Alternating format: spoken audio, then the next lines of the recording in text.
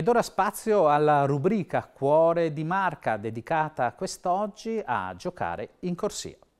Il gioco è una cosa seria, l'associazione Giocare in Corsia è una realtà serissima perché non c'è niente di prezioso come i bambini. È per questo che nelle attività rivolte a loro non si deve lasciare nulla all'improvvisazione.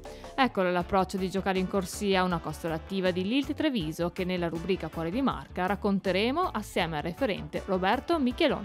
Giocare in Corsia nasce come un comitato di assistenza di bambini nel 1994 seguendo il percorso purtroppo breve di una bimba, si è proprio sentito il bisogno di questa necessità anche di poter sostenere le famiglie e i bambini nei momenti appunto drammatici.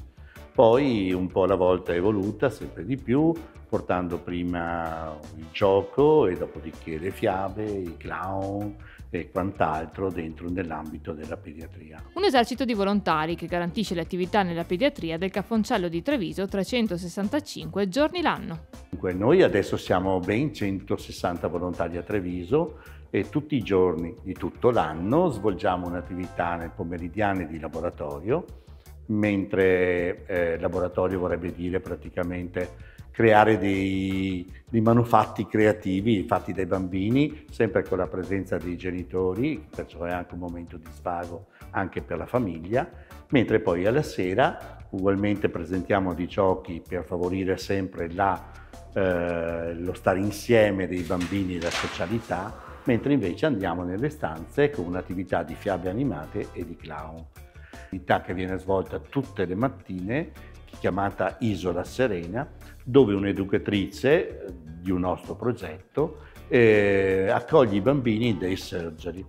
Cosa vuol dire? Questi bambini che hanno un'operazione chirurgica programmata vengono accolti dalla nostra educatrice, i bambini giocano, i genitori si tranquillizzano, di conseguenza cerchiamo di favorire a questo momento difficile della vita della famiglia nel modo più sereno possibile. Il nostro progetto è sempre dedicato che il bambino ha diritto a giocare anche in ospedale. La formazione è la base di giocare in corsia, tanto che dal 2011 al 2019 ha portato la propria esperienza in Ucraina e Russia per formare dei giovani clown pediatrici.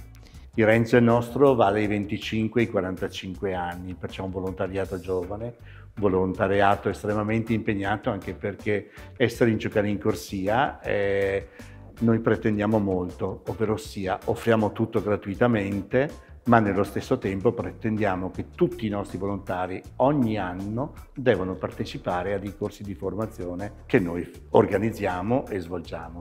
Immaginiamo che lo scorso anno abbiamo creato 34 momenti formativi, tanto per dare un'idea in un anno. Abbiamo davvero compreso che il gioco è una cosa seria.